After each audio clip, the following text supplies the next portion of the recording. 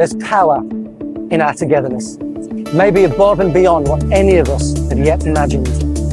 Come and join us and be part of something powerful together.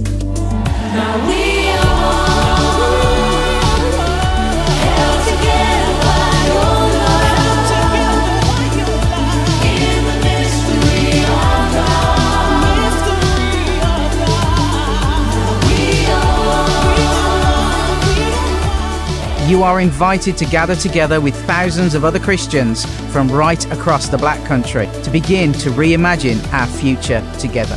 and celebrating together the beautiful things that God is doing in our region. We are together.